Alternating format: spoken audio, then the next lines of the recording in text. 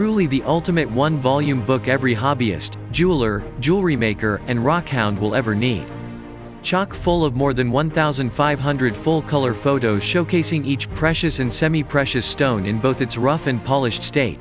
This best-selling reference book from leading geology expert Walter Schumann will be your go-to identification guide. You'll find full treatments of lesser-known gems and minerals, from andalusite to Vesuvianite, and a special section devoted to rocks as precious stones, including alabaster, onyx, obsidian, and fossils. Organic gem materials such as coral, ivory, amber, and pearl are also covered, along with more recently discovered stones like charoite. Additionally, this all-inclusive rocks and minerals book includes imitations, synthetics, and combined stones.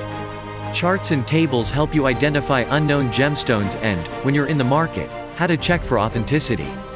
Gemstones of the World will bring new beauty and wisdom to your bookshelf. Find the link below and buy the book now.